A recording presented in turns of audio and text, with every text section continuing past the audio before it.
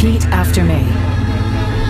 I, V, do solemnly swear I, V, do solemnly swear that I shall faithfully serve the new United States of America that I shall faithfully serve the new United States of America.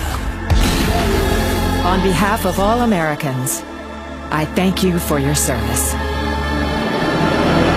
know, taking that oath. Bad idea.